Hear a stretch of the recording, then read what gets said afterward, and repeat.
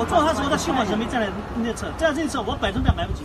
我下来之后，他在车后面这样看，我说你不要再看了，我说翻到公安里面来，我想想都后怕的。大概一分钟前，这辆开在快车道上的小车突然靠向第二车道正常行驶的黑色轿车，发生碰撞后，黑色轿车慢慢靠到了应急车道，肇事的小车被弹回快车道，往前开了一段路后，停在了一二车道之间。驾驶员下车查看时，后方一辆面包车撞了上来。事发后，高速巡逻车正巧路过，走走走走，快点上车上车，上车开走，三辆事故车从高速撤离。小车驾驶员说：“他从前一天晚上十点上夜班到早上九点没合过眼，本想撑到家里再休息。那你每天都这样？没有，我哪里？我拿一点东西。